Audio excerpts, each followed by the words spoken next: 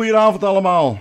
Welkom bij de podcast Verdikking op History. Uh, ik ben hier samen met een gast vanavond. Hij is archeoloog, initiatiefnemer bij het PAN. Hij heeft uh, boeken geschreven. Hij is coördinator van het PAN-project 2016 en werkzaam bij het VU. Stijn, welkom. Dankjewel. Goedenavond. Goedenavond. Leuk dat je er bent. Uh, nou, we hebben Stijn uitgenodigd natuurlijk om uh, iets meer te weten te komen van het PAN. En uh, nou, laten we beginnen zou ik zeggen. Ik, mensen kunnen straks, dat wou ik even vertellen, dat vergeet ik altijd. Mensen kunnen zometeen live vragen gaan stellen. En ehm, dat is zometeen dus. Uh, en we gaan eerst gewoon beginnen met de uitzending. Nou, vertel uh, Stijn, je bent uh, archeoloog. hoe is dat ooit zo begonnen? Als klein Stijntje denk ik, als je terugkijkt naar vroeger. Hoe is die interesse eigenlijk opgewekt bij jou dat je uiteindelijk archeoloog wou worden? Want als ik op school kijk, zeg maar, dan zegt de ene, zeg maar, ik wil brandweer worden, ik wil politieagent worden of zo. Uh, ik wou boswachter worden, ook nooit van gekomen. Maar hoe kom jij zeg maar zo in die uh, archeologie terecht? Ja, nou het is eigenlijk uh, met iets heel anders begonnen. Um, ik kwam, uh, ik hield van de natuur, ik hield van buitenspelen. Ik was vaak op de rechte hei te vinden. dat is bij Goorlen in de buurt, bijna Belgische grens. En daar werd, dat was militair oefenterrein. Um, en ik zocht altijd naar uh, van die oefenkogels, liefst dat ze nog niet af waren geschoten. Uh, munitie vond ik interessant, maar op die hei waren ook bronstijdgrafheuvels. Uh, heb ik ook als, als jongetje nog een beetje in staan graven. Ik dacht, oh, misschien kan ik potten vinden. Um, nu weet ik achteraf dat dat helemaal niet mag. en gelukkig waren die grafheuvels ook al opgegraven in de jaren 30, dus ik deed geen schade. Maar goed, had gekund. Um, maar goed, die, die, die militaire interesse die is gebleven. ging ik eigenlijk naar de universiteit om geschiedenis te studeren. En ik had in mijn hoofd dat ik um, Tweede Wereldoorlog ging doen. Dat vond ik super interessant.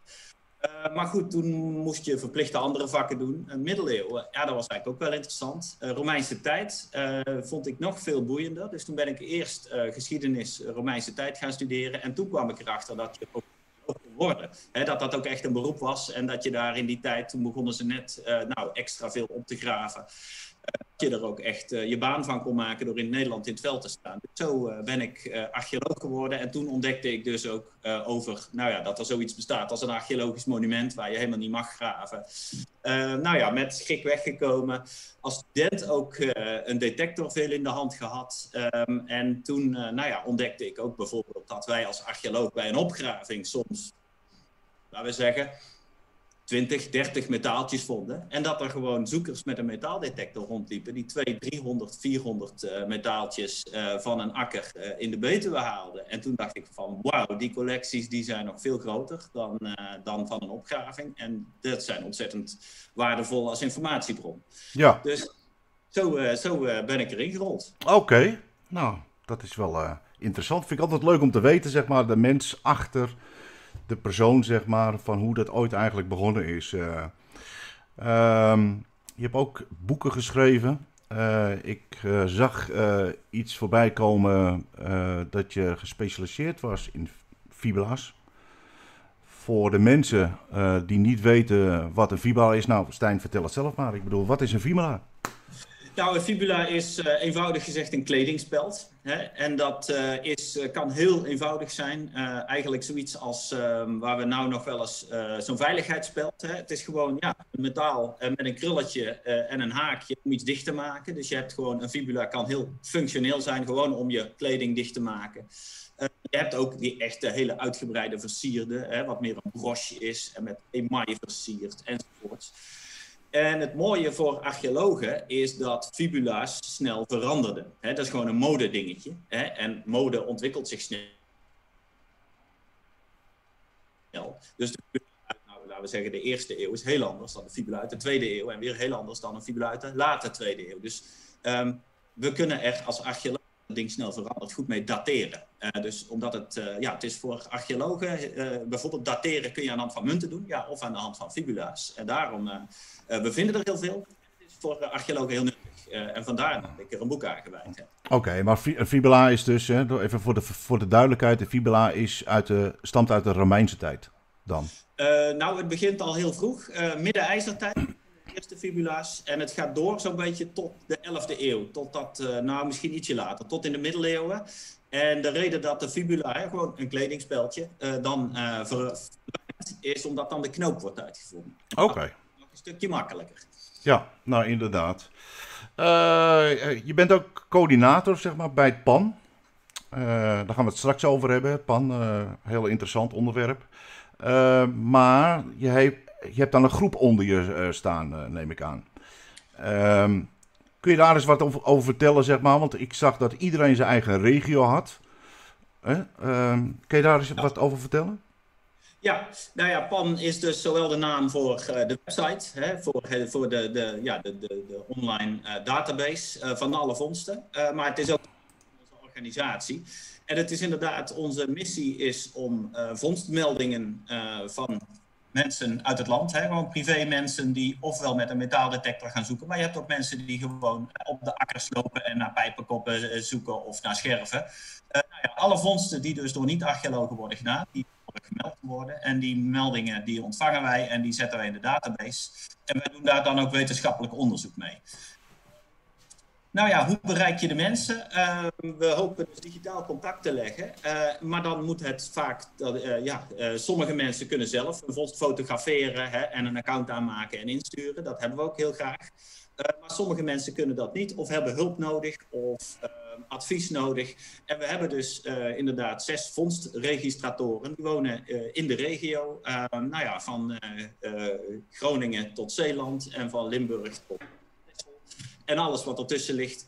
Ehm, en het is de, de taak van dus uh, zes uh, mensen om bij, uh, om bij zoekers langs te gaan of met zoekers af te spreken in een museum en dan de vondsten te bekijken, te fotograferen en in pand te zetten. Hè. En de regulatoren, soms doen ze het werk zelf, hè, fotograferen en in de computer zetten.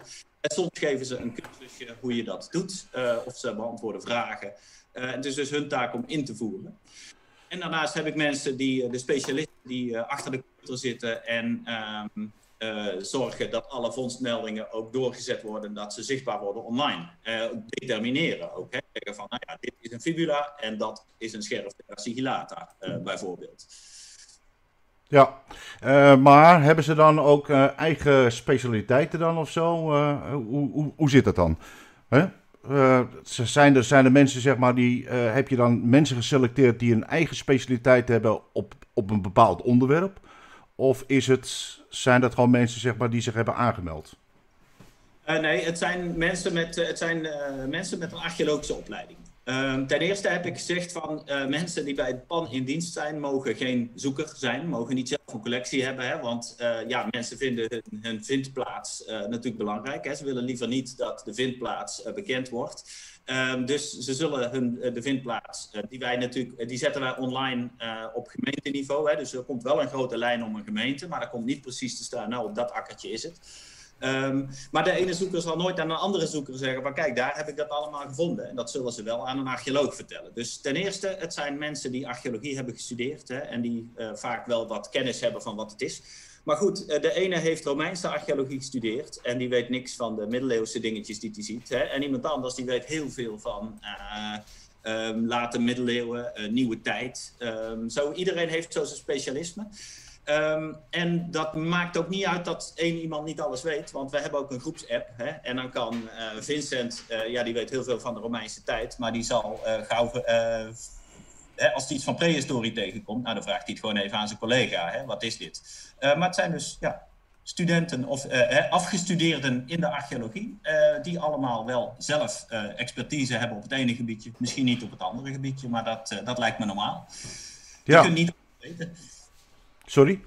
Je kunt niet alles weten. Nee, je kunt niet alles weten. Nou ja, goed, sowieso. ik, ik, neem aan zeg maar, dat je ook bepaalde dingen moet opzoeken als je het helemaal niet weet. Maar sowieso is het voor Nederland wel natuurlijk uh, heel interessant, zeg maar, om uh, ja, de, de, mensen te hebben in de, hè, zoals het pan, zeg maar, die er echt verstand van hebben. Of in ieder geval die de connecties hebben, zodat ze, dat je kan weten op een gegeven moment met, met wat je vindt. kijk, nu is het wel zo natuurlijk, we hebben internet en we kunnen alles redelijk vinden. Maar dat betekent niet, zeg maar, dat we vaak het historisch belang vinden, ervan vinden, zeg maar, van, van een voorwerp. En dat is het leuke aan, aan, aan, aan het PAN-project. dat, we, dat we dus nou ja, jullie hebben om, te, om dat samen te bundelen. Um, even kijken. Mm, wat is nou het, het doel van het PAN? Ik ben een, hè, we, hebben, in Nederland zijn we de laatste twee jaar zijn we verschrikkelijk gegroeid met het aantal uh, uh, nieuwe metaaldetectoristen. Uh, de schatting, niemand weet hoeveel het er nu zijn, maar we schatten ongeveer dat het ongeveer de 30.000 haalt, nu momenteel. um, ik ben een nieuwe metaaldetectorist en weet eigenlijk niet wat het pan is. Kan je iets vertellen over het pan? Uh, zeg maar, en wat is het doel eigenlijk van het pan? Wat is het doel van het pan om om, om metaaldetectie en nou ja, archeologen, overheid bij elkaar te brengen? Ja, nou, um, het is zo dat uh, al die vondsten die hebben dus een belangrijke historische waarde. En dat komt dat uh, er staat, we denken heel veel te weten van de geschiedenis. Hè? Over de geschiedenis zijn boekenkasten volgeschreven, maar eigenlijk weten we vooral heel veel niet. En dat komt omdat tot een paar jaar geleden um, wordt er bijvoorbeeld over het dagelijks leven wordt niks opgeschreven. Hè? Wie schrijft geschiedenis? Hè? Dan, dan de, vroeger uh, ging dat over koningen en dat ging over uh, monniken in abdijen. Um, het ging ook nooit over vrouwen bijvoorbeeld. Het ging niet over het dagelijks leven. Um, het gaat alleen over de grote steden. Het gaat niet over, platte, over de plattelandsdorpjes. Dus ja, voor de laatste 500 jaar uh, weten we dus iets over de centrale plaatsen en over de militaire uh, regio's, militaire uh, oorlogvoering en de belangrijke mensen. Maar voor de rest weten we niet zoveel. En over tijden, periode ver terug weten we eigenlijk helemaal niks. Hè? Dan is er maar een heel klein beetje geschreven. Um, en dat verhaal wordt wel verteld door de lokale vondsten. He, die vondsten die, die zijn door de mensen dagelijks gehanteerd. Um, en die zeggen iets over het dagelijks leven in een dorpje of hoe ze hun doden begroeven. Nou ja, hoe ze hun doden begroeven, dat staat nergens in de geschreven bronnen. Dus aan de hand van al die vondsten leren we veel meer over de Nederlandse geschiedenis, wat nergens staat. Dus dat is het bredere belang van archeologie in het algemeen. Um, en nou zijn er heel veel plekken uh, die we niet kennen. Want bijvoorbeeld uh, als er uh, ergens een nieuwbouw uh, wordt gedaan, dan gaan, mogen archeologen even kijken of er niet onderzoek moet gebeuren voordat er nieuwe huizen worden gebouwd. Maar dat onderzoek dat gaat alleen door als er ergens iets staat dat, dat er iets in de grond zit. Um, en nou zijn bijvoorbeeld één doel van zo'n vondst van een zoeker kan bijvoorbeeld zijn als je op een akker loopt hè, met toestemming van de boer en je hebt daar zaken gevonden um, en die staan dan in pan. En dan tien jaar later verkoopt die boer zijn grond aan uh, voor woningbouw. En dan weten we al, omdat daar uh, vondsten zijn gemeld, dat als er woningbouw is, dat er dan archeologisch onderzoek, hè, dat archeologen moeten oppassen. Dus kennis van vindplaatsen uh, is één belangrijk doel. En dan weten we dat als zo'n terrein ontwikkeld wordt, dat archeologen moeten opletten, want dan is er al van alles gevonden. En dan moeten archeologen naar de sporen zoeken die onder de grond liggen. En nog iets anders, ja, is bijvoorbeeld wetenschap. want er zijn heel, wat ik net al zei, zoekers vinden veel meer vondsten dan archeologen. Hè, in een opgraving kan het zijn dat je 10 of 20 metaaltjes vindt. Ja, en zoekers die hebben soms honderden metaaltjes. Dus het is vooral heel veel materiaal waarmee we wetenschap kunnen doen. En dan waarom die locatie zo belangrijk is, is bijvoorbeeld de verspreidingskaart. Want het kan zijn, dus als, we, als er alle vondsten van, nou laten we zeggen, een kledingspeld, een fibula uit de eerste eeuw. Als je al die vondsten op een kaart zet hè, en stipjes zet waar die vondsten gedaan zijn, dan weet je op welke plekken er wel gewoond werd in de eerste eeuw en op welke plekken er niet werd gewoond. Nou, dat stond nog nergens. Want uh, archeologen hebben wel heel veel gegraven, maar die vondsten zijn niet digitaal. Uh, en dat, uh, die, er zijn wel van opgravingen bijvoorbeeld artikeltjes gemaakt, maar het is ook lang niet allemaal beschikbaar. Dus door PAN kunnen wij nu gewoon een kaart van alle eerste eeuwse vondsten tevoorschijn trekken. Hè? En dat, dat bestond nog helemaal niet. Nee. Dus met vondstenonderzoekers kunnen wetenschappers en archeologen veel meer uh, dan zonder PAN. Oké, maar over welke, wat is, wat, welke periodes zijn nou interessant voor het PAN? Dat, dat, uh, hè, als je praat over het plaatsen van vondsten op de website, hè, in de database heb ik het dan over. Uh, voor, welke periode praten we dan? Praten we dan over alle periodes? Of praten we dan over een periode, zeg maar, wat uh, bijvoorbeeld alle, peri alle vondsten voor 1800 of voor 1900 of voor 1700? Nou, in principe zegt volgens de wet is tot aan de Tweede Wereldoorlog is interessant op 1945. En uh, uit alle perioden komen interessante verhalen. Het is bijvoorbeeld een mooi voorbeeldje. Laatst werden er vondsten gemeld bij Raamsdonk. Um, Raamsdonk, daar lagen stellingen uit de 80-jarige oorlog. Um, maar als ik nou in Argis kijk, dat was de database van sporen. -hmm. Dus is er niks in Argis te vinden. En daar staan dus, zijn dus gewoon kaarten met een schans, met twee schansen. Uh, dus dus een, een, plek waar het leger verbleef in de, in de 80-jarige oorlog. Ja. Uh, die plekken kunnen we niet terugvinden. Uh, we weten niet waar ze vandaag de dag nog liggen. Ehm, maar toen kwam er een zoeker met heel veel vondsten. van bij, waar, onder andere die musketkogels. Hè. Mensen denken musketkogels, waardeloos. Ja, maar als je er 200 bij elkaar vindt, dan heb je wel of een veldslag of de plek uh, waar het leger heeft gevonden. En door die, mus door die looie musketkogels is er opnieuw zo'n plek van zo'n schans teruggevonden. He, dus ook de 80-jarige oorlog, 16e, 17e eeuw, uh, is hartstikke interessant. Ja. En een ander voorbeeld, ja, verder terug, um, kledingspeltjes uit de late ijzertijd. daar hebben we er veel meer van gevonden dan we ooit voor mogelijk hadden gedacht. Want er was iemand in de jaren 90, een archeologe, die heeft alle vondsten van een bepaald type uit de late ijzertijd in beeld gebracht, in heel Europa. Maar op die kaart komt Nederland niet voor. Hè? En ik weet niet precies hoe dat komt. Misschien dat zij geen contact had met Nederlandse archeologen. Uh, maar nou lijkt het dus alsof Nederland in die late ijzertijd niks te betekenen had. Maar nu dankzij PAN heb ik een heleboel van die, um, van die speltjes uit de late ijzertijd wel gevonden. Een stuk of 60 uh, die hebben zoekers dus via PAN gemeld. En voor hun is het een klein stukje verrot brons, hè? een fragmentje, een frummeltje van een speld. Uh, zou je zeggen niet belangrijk? Ja, maar als ik die vondsten toevoeg aan de kaart uh, in de jaren negentig gemaakt is, dan weet ik nou, Nederland was hartstikke belangrijk in die late ijzertijd, in die latijne periode. Hè, Nederland hoorde gewoon tot de kern van dat latijne periode ongeveer denken aan de Kelten. De Kelten is een begrip waar we eigenlijk tegenwoordig niet meer zo gebruiken. Maar in die Keltische tijd is Nederland hartstikke belangrijk. En dat weten we dankzij PAN. Maar tot voor kort uh, wisten archeologen dat niet. Uh, want op die kaarten uit de jaren 90 is Nederland leeg. Oké. Nou, dat is uh, ja, hoop informatie weer. Ik denk dat we zoveel informatie hebben in zo'n programmaatje. Dus hè? we gaan maar eens even, even verder wat gebeurt er nou met die data? Ja, wat gebeurt er nou met die data? Ik voer zeg maar in die database voer ik uh, uh, wat ik vind. Wie hebben er allemaal toegang tot die data? Want dat is wel heel belangrijk te weten. Want uh, ik hoor verschillende verhalen van, van mensen van ja, ik voer liever niet in, want dan is mijn woonplaats bekend. En of de, de fonds waar ik het heb gevonden is bekend. maar dus ik wil eigenlijk weten, wat gebeurt er nou eigenlijk met die data? Nou, um, om te beginnen. Iedereen die wil mag op de website kijken. En op de website staat die vondst. Hè, als, eenmaal, als je hebt ingevoerd en wij hebben gezegd, uh, uh, dit is het. De, als wij weten wat het is en een aantal klikken hebben gezet, dan is zo'n vondst online te zien.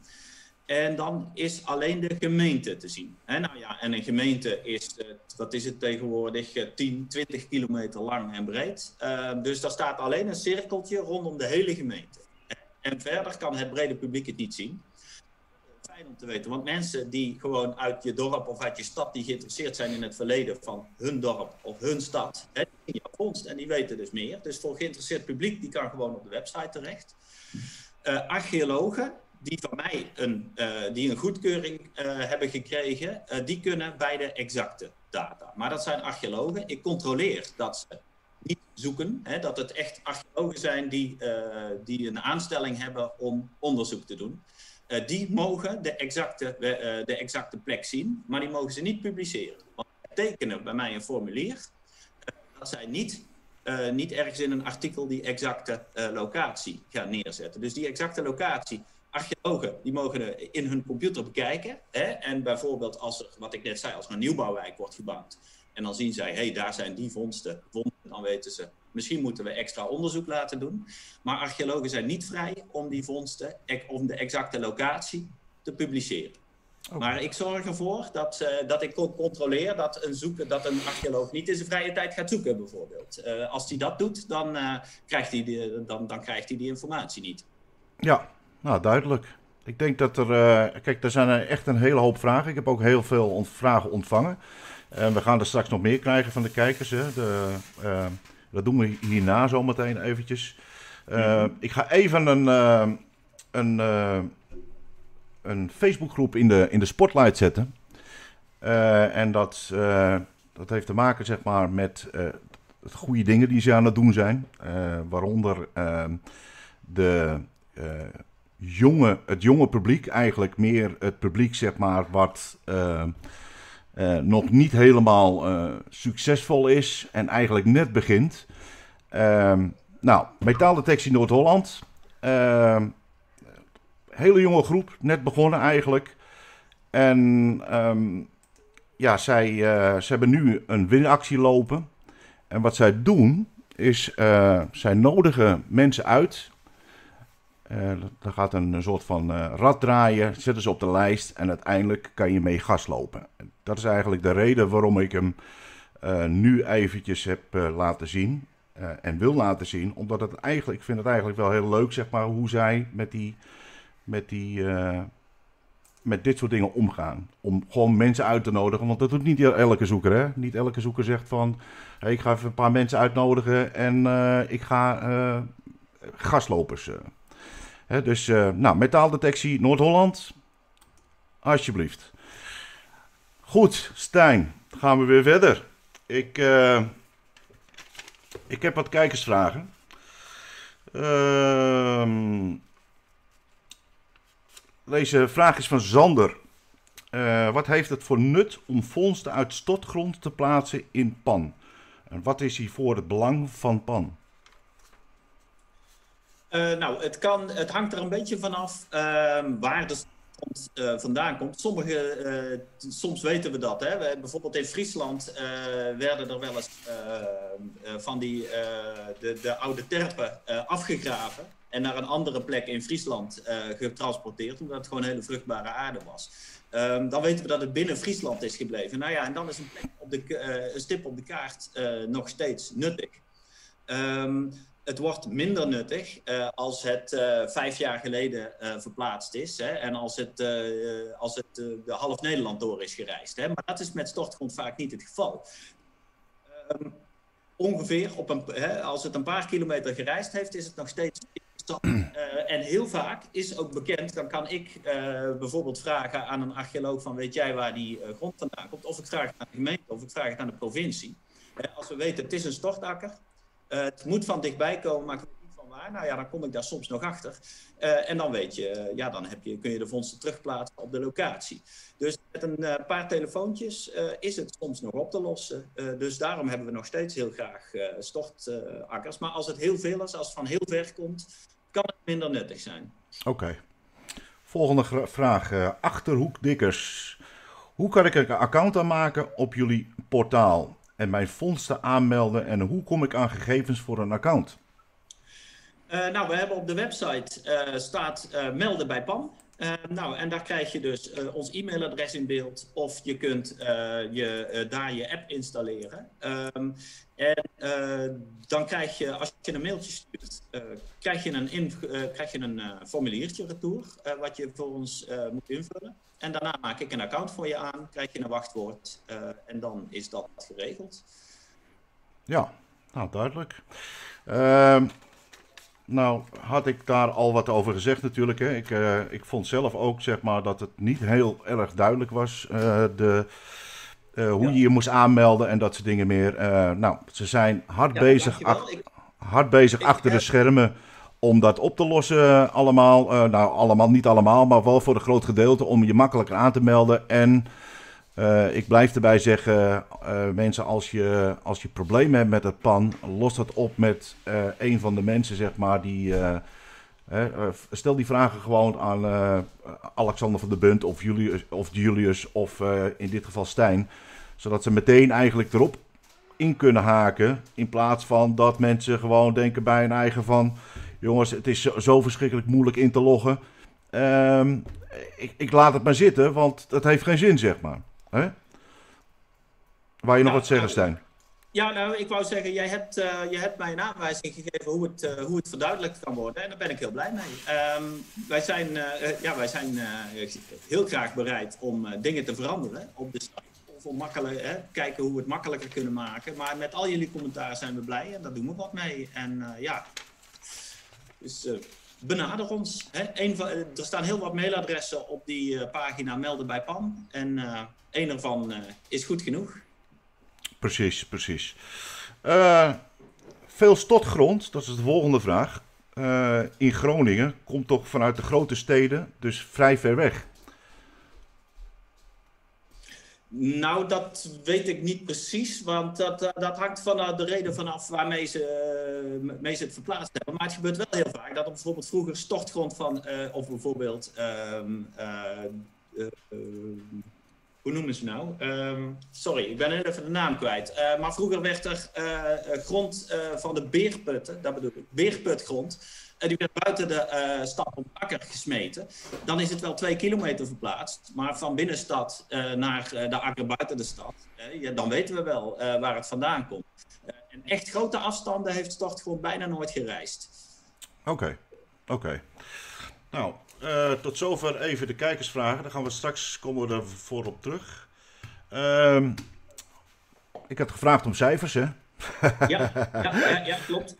Hoeveel vondsten verwerken jullie per jaar? Want ik neem aan dat als ik alle vondsten ga uploaden naar jullie website en wat, uh, wat, wat, wat relevant is, wat ik denk wat relevant is, maar dat hoeft voor een ander dus niet te zijn. Dat als ik, uh, ik noem maar wat, 300 eh, vondsten per jaar heb, wat is dan relevant om op te loaden? Maar hoeveel verwerken jullie dan? Hoeveel vondsten verwerken jullie per jaar? Nou, wij zijn, uh, nu staat de teller vandaag op 88.466 vondsten. En die is in een kleine 4,5 jaar verzameld. dus dan kom je op een gouden rekensom ongeveer 20.000 per jaar komen er binnen moment zijn gevalideerd, en dat betekent dus dat die zichtbaar is op de website, zijn 53.206 en dat is uh, eh, 61% Dus 61% van de vondsten die zijn geüpload, staan ook al online. Um, dan missen we natuurlijk nog 39% maar dat komt omdat we van lang niet alles weten wat het is. En het is ook soms hè, de kleine frummeltjes. Dan weten we wel bijvoorbeeld, het is Romeinse tijd, maar we weten niet of het van een sieraad of van een wapen is bijvoorbeeld. Hè. Dus dan, blijft die, dan komt die niet gevalideerd op die website te zien, maar op de achtergrond uh, is hij wel benaderbaar voor archeologen. Uh, dus ja, 61% van de vondsten kun je al terugvinden, uh, de andere nog niet, maar daar werken we natuurlijk aan. Maar dus grofweg 20.000 per jaar komen er binnen. Oké, nou dat is duidelijk. Ja, ik zie, ik, sorry hoor, ik zit even niet op te letten, want de de livestream klapte eruit zo even. Dus we gaan gewoon verder, want ik, ik heb je nog steeds in beeld. dat is het leuk, altijd die technische, technische dingetjes. Hij staat inderdaad stil. Uh, bij mij staat hij echt stil. Maar goed, we gaan zo verder. Um, even kijken. Dan was de volgende vraag. nou, hoeveel vondsten zitten er in de database? Hebben we al gezegd, hè? Ben ik verplicht als metaaldetectorist vondsten te melden. Volgens de wetgeving moet ik dat. Maar nou weet ik natuurlijk dat niet alle uh, metaaldetectoristen vondsten gaan melden. Uh, omdat ze het veel mooier vinden in hun vitrinekast natuurlijk. maar ben ik verplicht volgens de wetgeving om vondsten te melden? Ja, het is heel simpel. De erfgoedwet zegt dat alles wat een archeologische vondst is, hè, waarvan je redelijkerwijs kunt vermoeden dat het een is. en dat is dus ja, eigenlijk ouder dan 50 jaar, maar vanaf nu hanteren we 1946 of 1945, einde van de Tweede Wereldoorlog. is archeologisch, dat, dat zou je moeten melden. Ja, je, ja melden. Maar ben je, dan, ben je dan in overtreding als je dat niet doet? Stel nou, hè, ik, ik heb toch al een belangrijke vondst. Uh, ik noem maar wat, uh, nou laten we een, een, een, een, aantal fibula's noemen, zeg maar, wat, wat toch wel belangrijk is zeg maar, voor de archeologie. Uh, ben ik dan verplicht om dat te melden en ben ik dan ook strafbaar? Um, in principe wel. Ehm, kijk, de, de, soep wordt niet zo, gegeten, zo heet gegeten als die wordt opgediend. Uh, dus de vraag is uh, ja, of er uh, gehandhaafd wordt. Maar in principe, als we het gewoon even jouw vraag bazaal beantwoorden. Ja, volgens de erfgoedwet moet je dat melden. En als je niet doet, is het een overtreding. en het punt is, als je niet wil melden, ja, dan moet je ook niet gaan zoeken. Hè? Want je haalt archeologica uit de grond. Kijk, als je het laat zitten, kan iemand anders het vinden en het melden. Hè? Of kan een archeoloog, als daarover of tien of twintig jaar wordt gegraven, kan een archeoloog het vinden en uh, er een boek over schrijven. Um, maar als je niet wil melden, ja, dan moet je eigenlijk gewoon niet gaan zoeken. Ja, zijn, uh, zijn uh, bij jouw weten, zijn er in Nederland boetes uitgedeeld voor mensen die bijvoorbeeld dingen hadden gevonden, zoals wat in Engeland gebeurd is. Hè. Dus ze hebben daar een grote schat opgegraven en vervolgens hebben ze dat niet gemeld. Of de man die in Frankrijk, zeg maar in België, zijn munten aan het begraven was en uiteindelijk op zijn eigen land en uiteindelijk dat melden van ik heb dat gevonden. Uh, maar heeft uiteindelijk zijn ze erachter gekomen omdat de grond niet overheen kwam, zeg maar, met het wat in België, met wat, wat er gevonden was in Frankrijk. Uiteindelijk heeft hij een boete gekregen. Is dat hier, hier in Nederland wel eens gebeurd?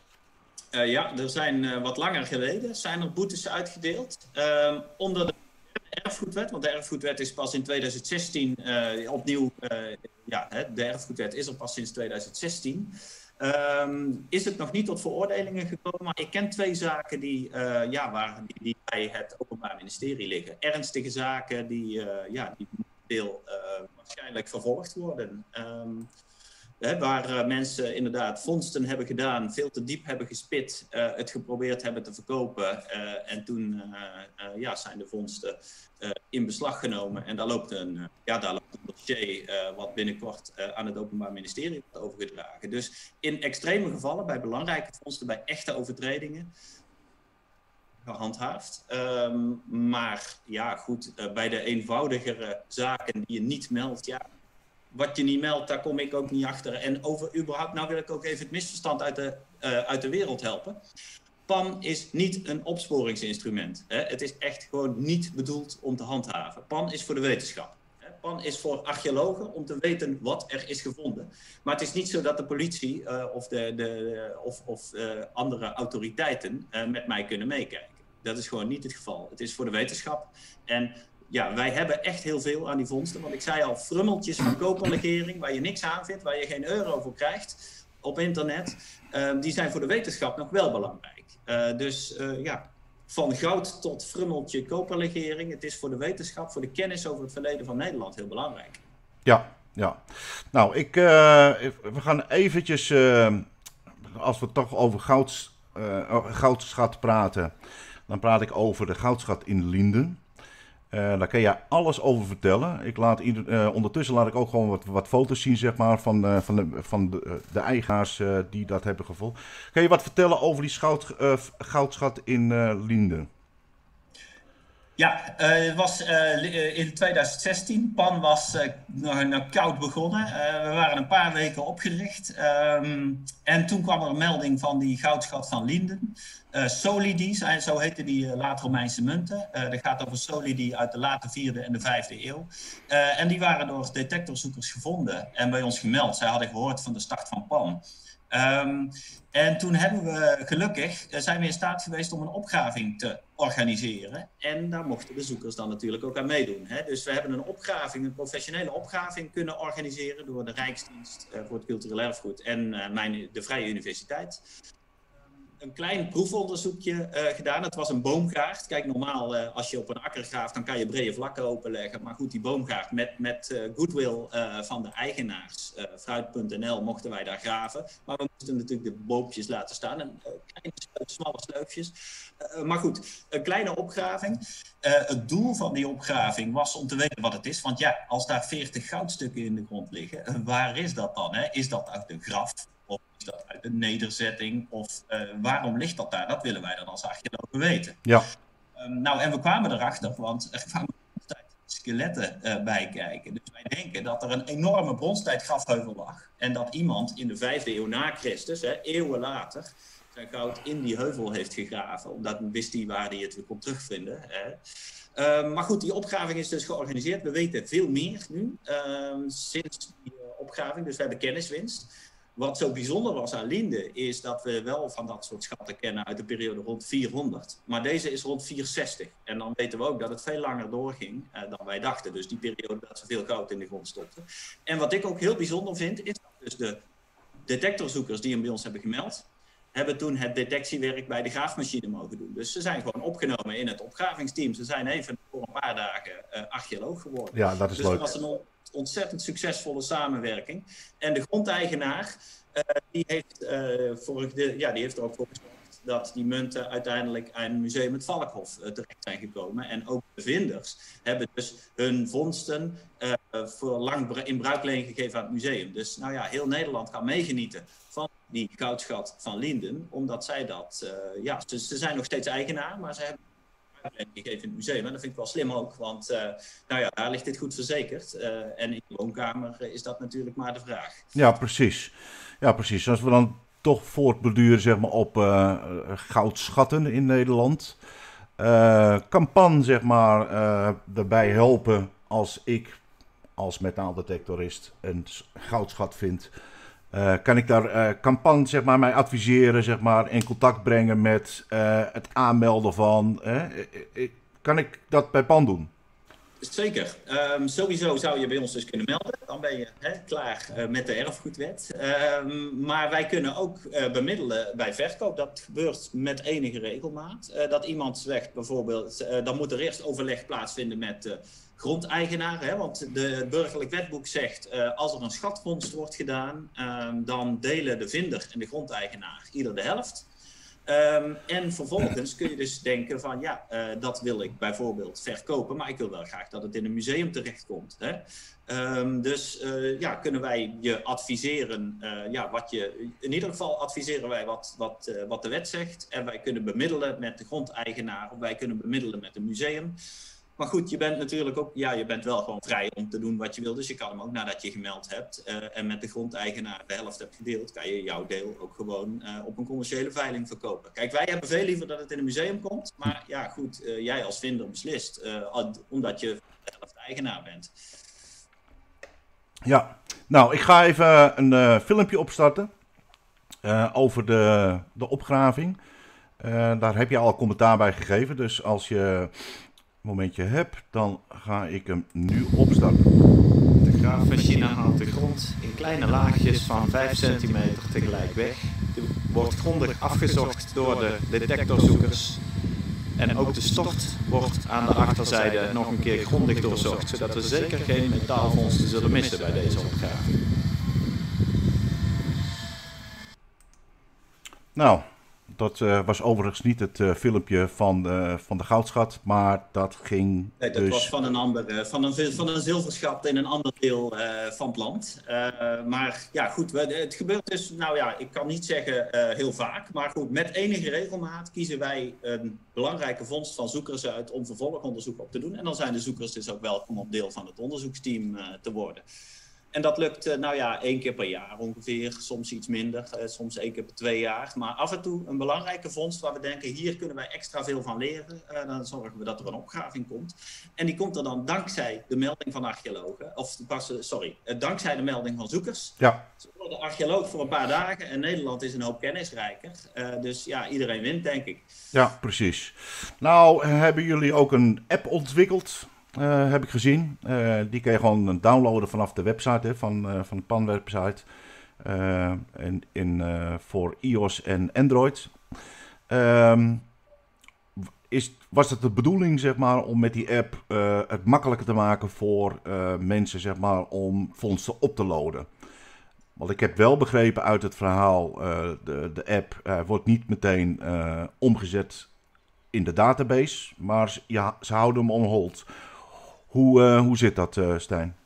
Nou, het is inderdaad, het is om stap 1 makkelijk te maken. Uh, en het is, die app is eigenlijk alleen bedoeld voor, om het makkelijk te maken bij het vinden zelf. En dat komt namelijk omdat je als je met je foto, met je mobieltje op het moment van vinden alvast een foto maakt van die vondst, hè, dan, mag de, dan zit de motto er nog aan, geen probleem. Maar als je op het moment van vinden die foto maakt, dan zit er een exacte locatie uh, uh, al in de database. En dat is natuurlijk makkelijk. En dat is ook zeker als je straks uh, bijvoorbeeld vijf vondsten bij elkaar hebt. nou ja, en dan 100 meter verder weer drie vondsten bij elkaar. Hè, dan zijn dat twee clustertjes vondsten. Daar hebben wij als archeoloog later heel veel aan, om de precieze locatie te weten. Hè, wat, wat vaak nu gebeurt als je vondsten meldt, 100 vondsten van een veld, ja, dan weten we niet welke vondst precies waar. En daar zorgt deze app wel voor. Dus waar wij heel blij mee zouden zijn, is als jij op zaterdagochtend uh, het veld ingaat, dat je dan de app meeneemt. Uh, op het moment van vinden een fotootje knipt. Uh, en dan hebben we een exacte vondst. En dan schiet je die vondst vervolgens hè, wel makkelijk de database in. Dan is het wel zo, inderdaad, wat het, daarna moet er nog een groter formulier worden ingevuld. Dus echt makkelijker wordt het niet. Het is wel stap 1 is makkelijker en we hebben een exacte locatie. Oké, oké. Um, wordt, dan jou, word je dan proactief geïnformeerd wanneer je die melding, wanneer jij iets hebt, uh, op de website hebt gezet, wordt die dan, als die gevalideerd wordt, krijg je dan proactieve melding? Dat is eigenlijk de vraag. Dat is nog niet zo. denk je dat daar behoefte aan is? Nou, ik denk wel, zeg maar, dat je... Kijk, als jij... Als ik naar mezelf kijk en ik upload 20, 30 foto's van vondsten... Um, dan zou ik wel graag willen weten, zeg maar, welke fondsen relevant zijn voor het pan, zeg maar, om... of die gevalideerd worden, ja of nee. Oké. Nou, ik, kan er best uh, even over nadenken en dat wellicht inbouwen. Want misschien dat we dat automatisch kunnen regelen. Alleen dan denk ik, kijk, er zijn zoekers die bijvoorbeeld hè, 200 foto's uploaden in een week. Ehm, of die dan ook 200 mailtjes willen ontvangen of niet. Het kan wat veel zijn en daarom hebben we dat in het verleden niet gedaan. Maar als jij denkt, wil ik wel graag. dan zou ik kunnen kijken of ik dat kan laten aanleggen. Ja, misschien kan je de optie instellen of je dat wil, ja of nee, met een vinkje. Dat zou ook nog kunnen. Hè, dat je geïnformeerd wil worden als die fondsen, fondsen gevalideerd zijn. Uh, even kijken, zijn de, zijn de vinders alleen de eigenaar van hun eerste vondsten gevonden deel en hebben ze dat gedeeld met de boer? Dat ging over de goudschat. Het deel van wat de pan heeft opgegraven is dan toch ook van de vinder en de boer? Uh, nou, pan graaft niet op. Nou, uh, oh ja, goed. We hebben, doen wel een opgraving. Um, en dan is het, uh, als het een officiële opgraving is, dan is het van de provincie.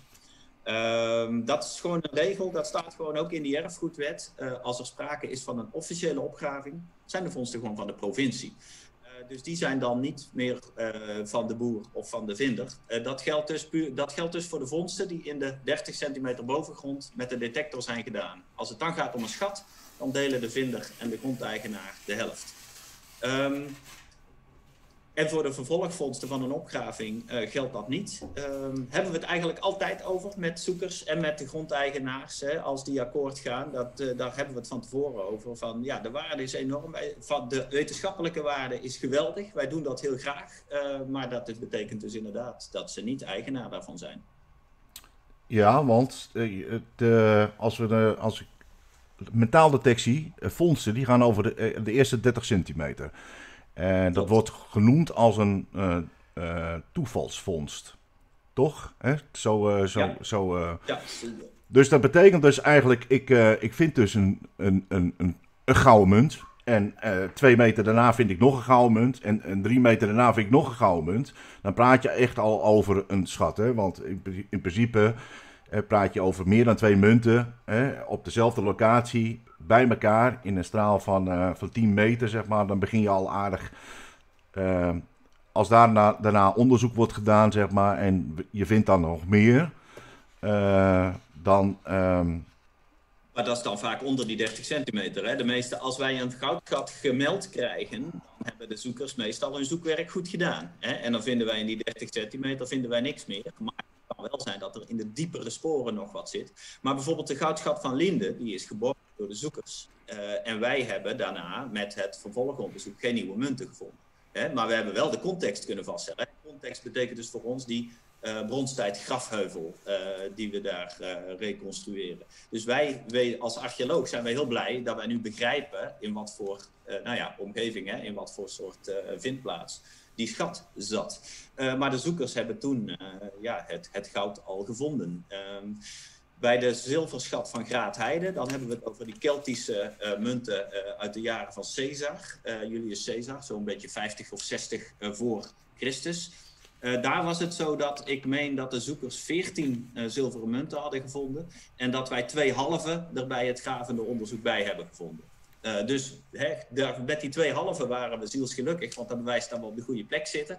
en we begrijpen daar ook weer die vindplaats beter. Uh, maar de, ja, het, grootste gedeelte was door de zoekers gevonden. En dat nou ja, zoals het kan lopen, ja. Ja, ja. Nou, dan heb ik een, een aantal vragen die ik heb verzameld in de loop, in de afgelopen twee, drie weken. De overheid kan vondsten claimen. Nee. Nee, de overheid kan, kan geen vondsten claimen. Dus ik meld, nee. het aan, ik meld het aan bij het PAN. En vervolgens uh, zegt de overheid van nou, dat is leuk dat je dat gevonden hebt, maar geef maar hier. Dat kan niet. Nee, nee. het is bijvoorbeeld in Engeland um, kunnen ze dat claimen, maar moeten ze de marktprijs betalen. Uh, in Duitsland kunnen ze het soms claimen. Als het erg belangrijk is, betalen ze niet helemaal de marktprijs. Nederland is dat mechanisme er niet. Nee, ze kunnen ook uitvragen, wil je het alsjeblieft aan een museum verkopen? Uh, maar een fonds te claimen, dat, dat kan niet.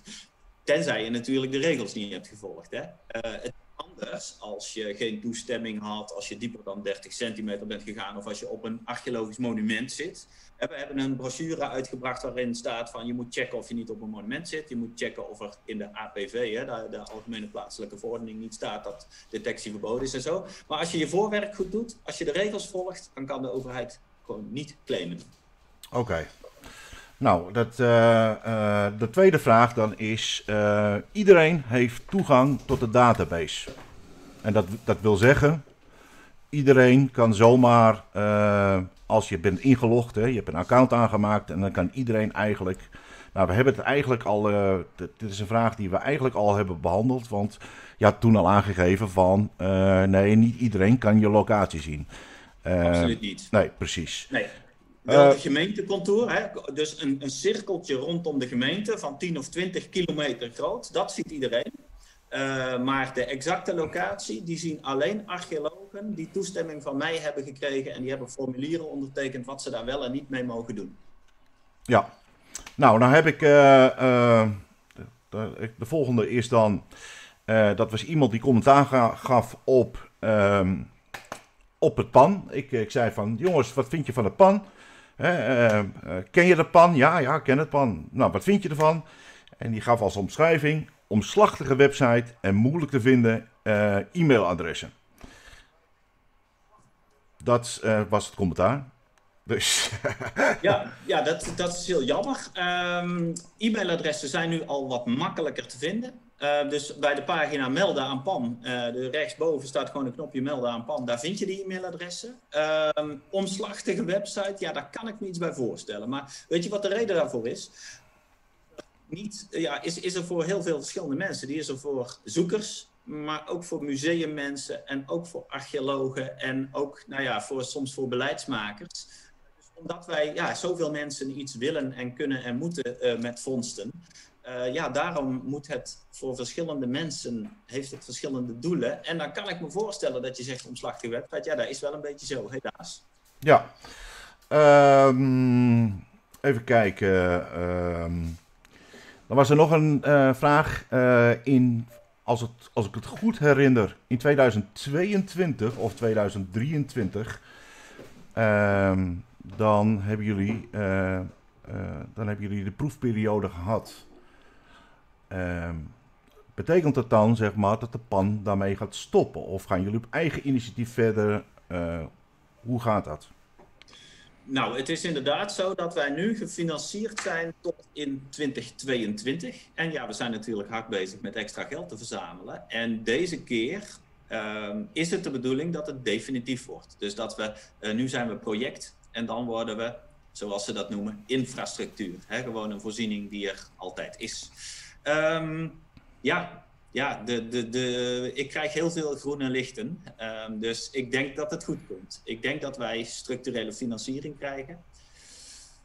Maar uh, ja, goed, uh, het is een drukke tijd. Uh, corona heeft heel veel geld gekost. overheden worden straks een stuk zuiniger met uitdelen van al die miljarden. Um, dus ja, ik kan nog niet met mijn hand op maart zeggen, hè, het is in orde. Ik kan nog niet zeggen het is in orde, maar ik kan wel zeggen, ik heb heel veel groene lichten gekregen. Dus ik denk dat PAN daarna gewoon ja, voor eeuwig doorgaat. Oké.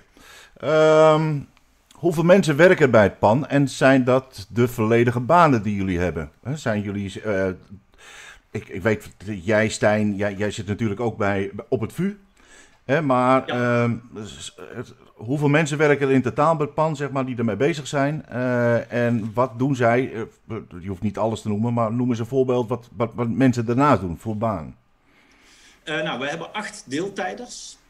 dus ehm, dat zijn mensen die dus voor twee of drie dagen in de week gaan ze bij zoekers op bezoek. of zitten dus in een museum om mensen te ontvangen en uit te leggen hoe PAN werkt. Eh, we zitten ook vaak op archeo-hotspots. Eh, dat eh, zijn plekken waar je gewoon kunt binnenlopen om archeologie te doen. En veel van die mensen hebben dus inderdaad een baan voor drie dagen in de week en de andere twee niks. Of ze werken voor twee dagen in de week op een depot, of ze werken voor twee dagen in de week bij een opgraafbedrijf. Um, nou, en ik zelf, ik heb nu dus een halve baan voor PAN en een halve baan ben ik docent uh, aan de universiteit. Um, ja, en zo heb je ook, uh, ja, uh, de, de, zijn specialisten die twee dagen in de week dus voor PAN vondsten determineren en vondsten dus valideren, zodat ze te zien zijn op de website. en voor drie dagen in de week andere opdrachten doen om voor, bijvoorbeeld voor een bedrijf vondsten te determineren. Oké, okay. nou, dat is wel leuk. Leuk eigenlijk. even kijken. Ja, maar het is dus het is dus niet zoveel. Hè. We hebben, soms zijn zoekers, uh, ja, die zijn best een beetje ongelukkig dat het volgende bezoekje van een registrator pas over drie of vier weken kan plaatsvinden. Uh, maar ja, we hebben dus duizend zoekers en we hebben acht deeltijders. Ja, het is al, het is voor archeologische begrippen een enorm groot project, maar toch, ja, hebben we altijd tijd tekort, helaas. Ja, precies. Precies, want nou, nou zeg je archeologische hotspots, daar, zit, daar, daar zijn jullie ook aanwezig op bepaalde tijden. Je moet daar een afspraak voor maken, had ik begrepen er ook. Uh, waar zijn die archeologische hotspots dan? Zijn die gewoon uh, over, de hele, over heel Nederland? Of zijn die... Uh, dat is de bedoeling. Er zijn er nu, er zijn er nu meer dan twintig. Uh, nou, bijvoorbeeld in Amsterdam uh, kun je binnenlopen bij het Allard Pierson Museum. En dan kun je daar aan de slag met archeologie. En soms is dat om scherven te plakken, als je dat leuk vindt. En soms is dat om je vondsten te melden bij Julius, die vooral dus actief is in Holland. Um, ja, en zo heb je ook bij het Museum het Valkhof in Nijmegen Uh, dus Archeo Hotspot in Eindhoven en in Best. Ja, gewoon, um, er zijn er gewoon een aantal hotspots in het land. Uh, maar ook bijvoorbeeld het uh, Hunebedcentrum in Borger in Drenthe. kun je voor de Drentse vondsten terecht.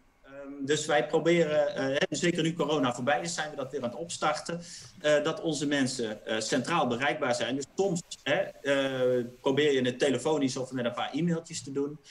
soms kun je iemand een registrator thuis vragen. Hè, en als dat dan agenda is, dan komt iemand langs.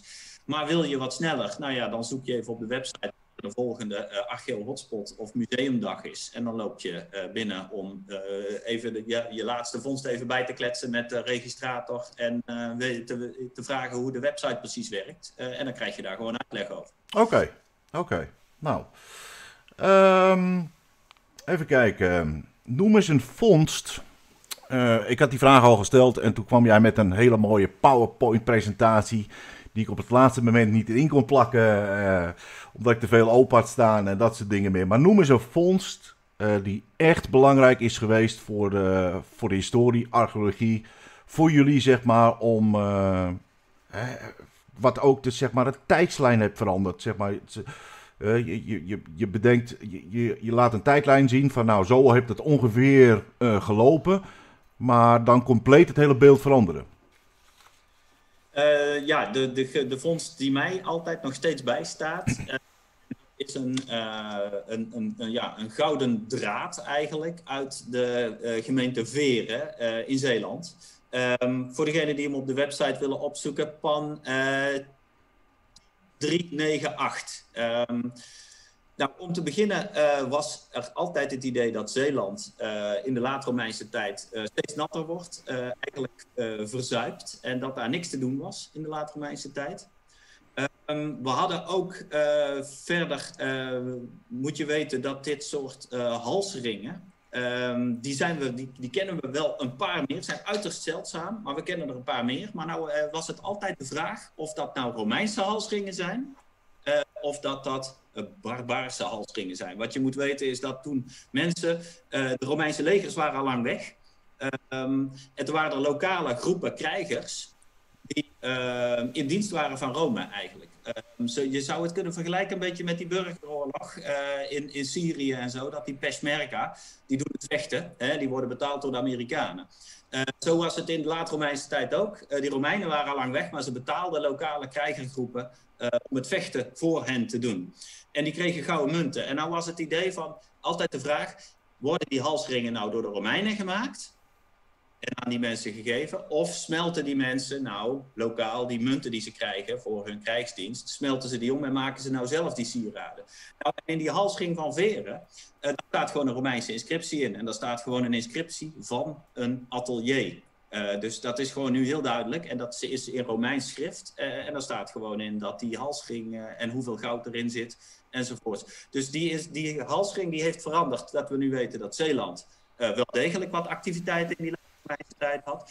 En die halsring die vertelt ons dat ze dus door de Romeinen werden gemaakt als een soort eregifte aan die krijgers. En dat die krijgers dus dat dat goud niet buit is, wat ze veroverd hebben. Nee, dat hebben ze van de Romeinen gekregen. Dus allerlei verhaallijnen die we niet wisten, ja, die worden ingevuld door die vondst uit Veren. Dus uh, ja, dat is een superbelangrijke vondst. En ik ben zo blij dat die gemeld is door de zoeker.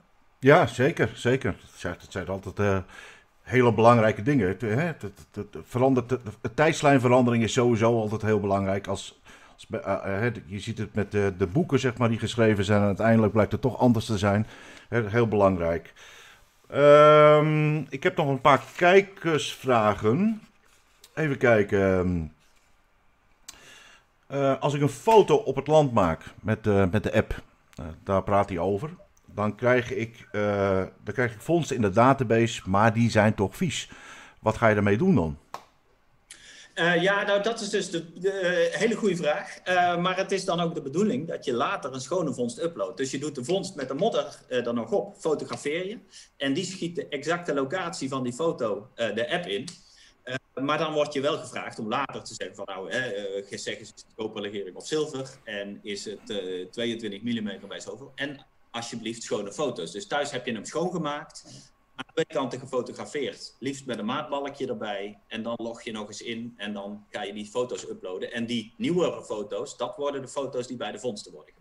Oké, oké. En de vieze foto, die blijft wel bewaard, want dat is altijd leuk hè, om hem in je hand uh, vies en wel te zien. Dus dat zijn leuke foto's.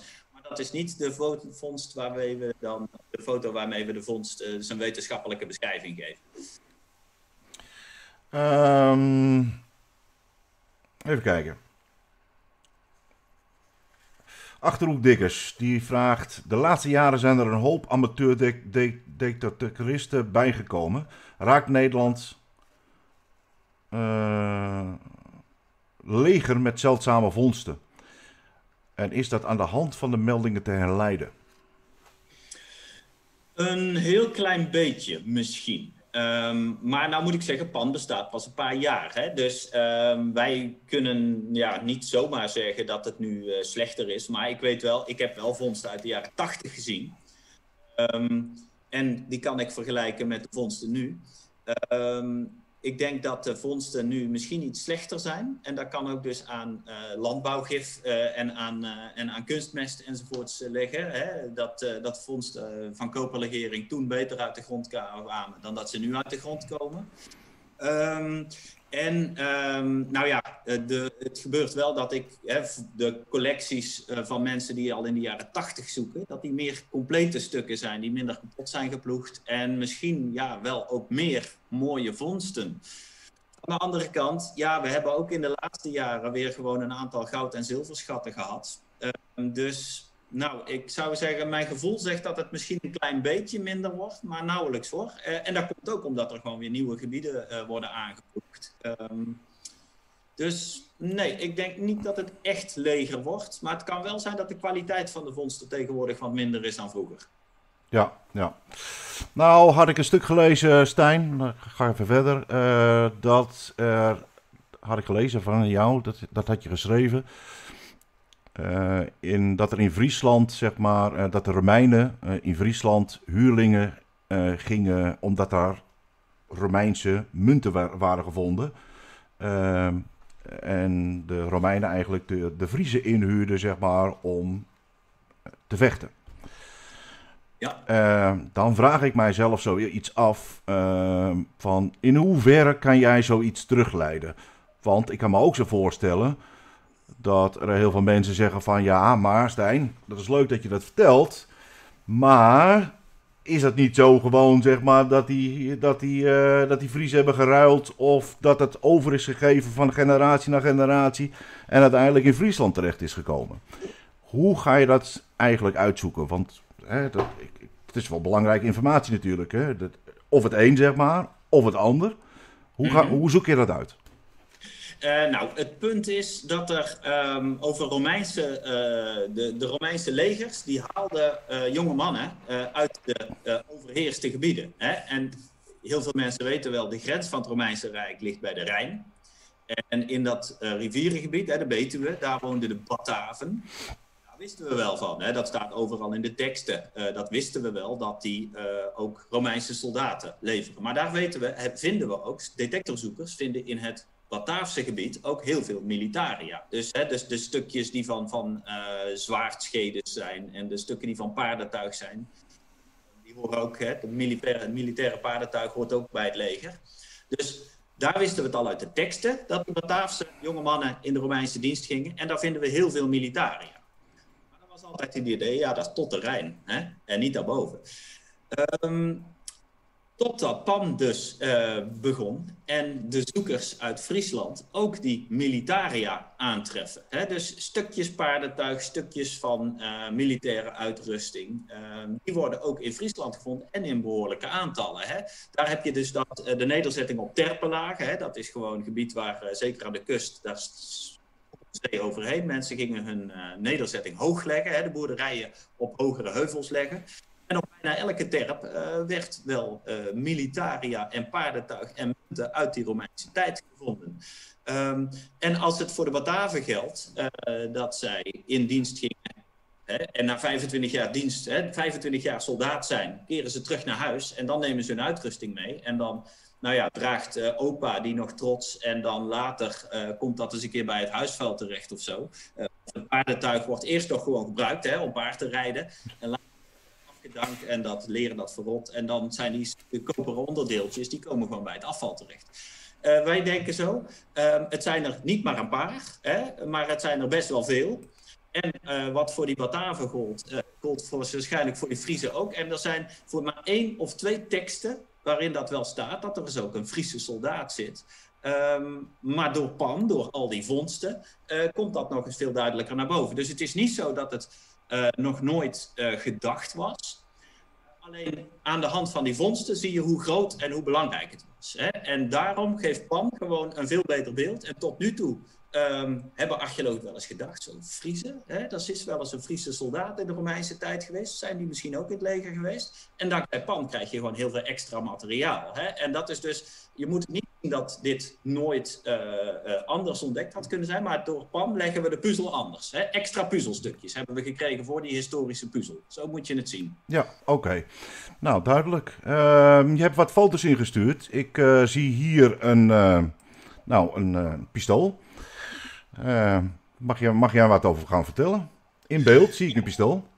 Ja, nou dat, dat pistool, een pistolet uh, uit de 18e eeuw. Uh, gedeeltelijk van hout en gedeeltelijk uh, zijn de metalen delen nog, nog erin.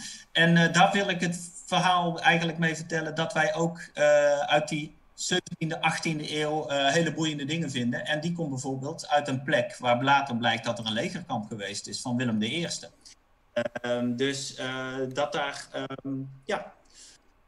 Oké. Okay alleen maar Romeinse tijd en middeleeuwen doet. Dat wil ik er maar mee aangeven. Ook uh, uit de nieuwe tijd uh, doen wij nog bijzonder boeiende en nieuwe vondsten en nieuwe verhalen op. Ja, nou, volgende plaatje is de kandelaar. Ja, een hele zeldzame kandelaar. Um, is in, inderdaad uit Zeeland, in Zeeland uh, naar boven gekomen. Um, en uh, hier waren maar enkele exemplaren van bekend, vooral in het buitenland, bijvoorbeeld uit België ook. Um, prachtige kandelaar en een nieuwe vondst van dat type in Nederland. Oké. Nou, dan hebben we er nog twee volgens mij nog. Ik heb hier een. Even kijken diploma van de Romeinen. Nou. Ja, ja, dat is het diploma van Elst. Uh, is al sinds jaar en dag bekend, ligt al heel lang in het museum. Maar wat niet veel mensen weten, is dat die door een detectorzoeker in de jaren 80 uh, is gevonden. Um, en een diploma, uh, ja, dat is een bijzonder belangrijk document. Uh, want ik heb al eerder gezegd, jonge mannen gingen in het Romeinse dienst. En dat is niet zoals bij ons, hè, een dienstplicht van één of twee jaar. Nee, je ging voor 25 jaar in dienst voor ontslag. En dan kreeg je uh, ook burgerrecht. Hè? Dan werd je dus officieel Romeins burger. Uh, dus dan ben je niet meer uh, die, die, die boerenjongen uit het noorden. Nee, dan ben je gewoon echt dan heb je Romeins burgerrecht. En jouw vrouw en kinderen hebben ook Romeins burgerrecht. Die kunnen een carrière beginnen. Dus echt een bijzonder belangrijk document. En zo'n diploma is dus het bewijs dat je officieel bent afgezwaaid uit de Romeinse legers en al die rechten hebt. En er staan ook andere eenheden op. Uh, dus uh, bijvoorbeeld het zoveelste bataljon Bataven en het zoveelste cohort van de Tongersen enzovoorts. Um, en daar staan dus alle troepen op die in uh, Neder-Germanië, zeg maar Nederland en de omringende landen, um, die in een bepaald jaar waren alle veteranen van die eenheden ehm, burgerrecht kregen. Dus het, het, is ook een soort troepenlijst van ja. Uh, die bij ons in de gebieden uh, door de Romeinen ja, onderhouden werden. Dus echt een heel belangrijk document. Um, en dat is in de buurt van Elst in Overbetuwe gevonden door een zoeker al jaren terug. En echt een van de belangrijkste documenten die de laatste 50 jaar naar boven is gekomen. Nou, is deze dan van lood? is dat een lood? Nee, is koperlegering. Koperlegering. Uh, dus uh, ja, goed. Ik, uh, veel mensen zeggen brons, maar brons is heel specifiek, hè? lood en tin. maar messing, daar zitten bijvoorbeeld andere dingen en dat is ook een koperlegering. Maar goed, dat kan ik op het oog niet zien. dus ik zeg liever niet brons, maar ik zeg koperlegering. Oké. Okay. Nou, de volgende is een, de gouden ring met steen. Uh, ja, dat is een, een, een bijzonder uh, mooie uh, ring uit de Renaissance. eind 16e, begin 17e eeuw. Um, en ja, daar waren er niet zoveel van bekend. Um, en was ook niet zoveel van bekend waar ze nou vandaan komen. Maar er zijn er aardig wat bij Pan gemeld. inmiddels een stuk of vier. en allemaal dus uit Nederland, uit de Nederlanden, omgeving Amsterdam, omgeving Utrecht. Um, dus uh, nou ja, dat, dat, daar, dan kunnen we dus ook aan uh, nou ja, mensen die deze periode goed kennen en aan de sieradenkenners uh, vertellen, nou dit lijkt er wel op dat dat toch in Nederland vervaardigd werd. Het is van zo'n hoge kwaliteit, dan moet je toch aan de bovenlaag van de juwelenkunstenaars uit ja, Noordwest-Europa, gewoon de knapste juweliers denken die in die tijd actief waren. Ja, staat, staat er dan ook een, een, een makerstempel in? in uh, of, of staat dat er niet in gewoon? Nee, nee, dat is pas iets later. Uh, makerstempels krijg je vanaf de 18e eeuw. Hè, dan wordt er ook de, de kwaliteit van het goud gecontroleerd, uh, bijvoorbeeld. Uh, maar deze is iets ouder. Ja. Oké. Nou, dan heb ik er nog één. Dat is de Romeinse riem. Ja, een bijna complete riem. ook hier is het geval dat een zoeker mocht meedoen met archeologen. Dat was een officiële archeologische opgraving. Um, en dat is allemaal in goed overleg met de opgravers en de zoekers gegaan. Um, het stort bleef achter uh, en deze stukken kwamen nog uit het stort. Uh, dus nou ja, daar is iets uh, misschien niet helemaal goed gegaan. Um, dus door de archeologen. en de zoeker, die heeft die vondst keurig gemeld. Hè, dus de informatie is bekend. en de, de, zoeker heeft hem gerestaureerd weliswaar. Hè, want hij was een stuk in elkaar gedrukt eh, en een stuk verroester. Um, maar ja, een prachtige riem uh, die uit het stort van een oude opgraving is gekomen. En uh, ja, ik denk een parel voor de verzamelaar van de bezoekers. En wat heel leuk is om te melden, die is ook, uh, heeft meegedaan in een competitie. Hè. Elk jaar, je hebt het Engelse blad The Searcher. En die vragen aan ons ieder jaar, goh Pan, vertel eens wat er dit jaar in Nederland gevonden is. En die vondst heeft de top uh, van de best, uh, best foreign find, dus uh, het beste buitenlandse vondst vanuit, zoek, vanuit Engeland geredeneerd. Heeft de prijs Oké, oké. Nou. Leuk. Ik heb nog een kijkersvraag. Oh. Digger Christian, die vraagt... Ik heb een drie gulden gevonden uit 1831.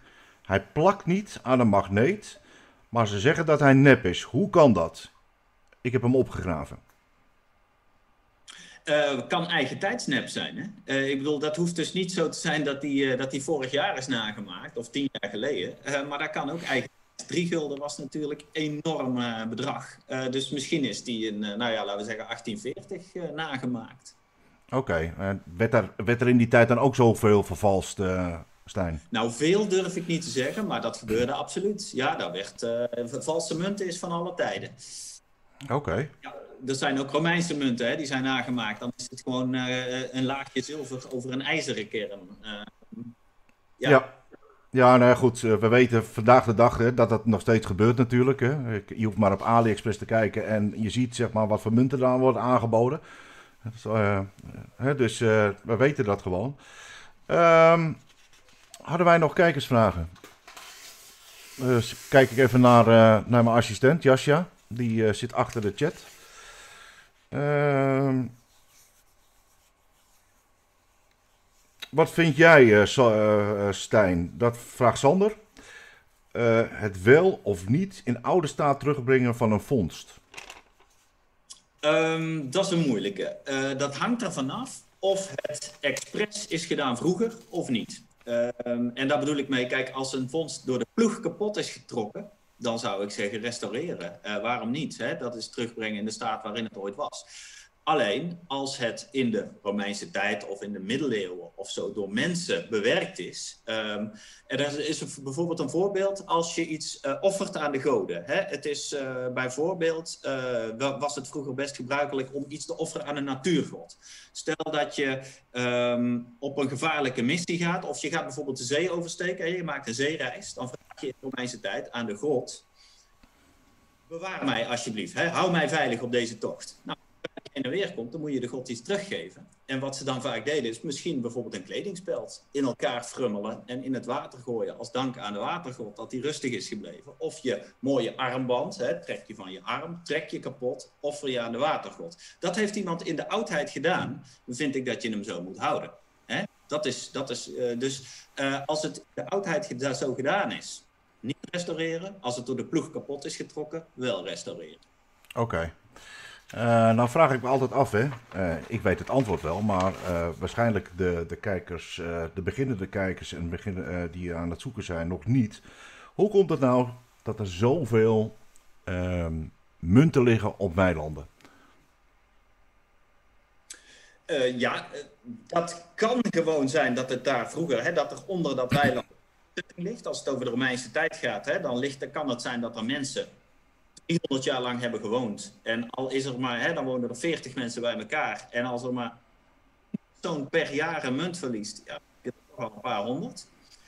Maar als het over latere vondsten gaat, uh, dan is het op de akker gestort materiaal. Wat ik eerder zei, hè, als je een binnenstad hebt, zeg uh, Groningen uh, of Nijmegen of ook een vestingstadje als Graven, wordt daar beerputten. Hè, mensen die gooien al hun afval in de beerput.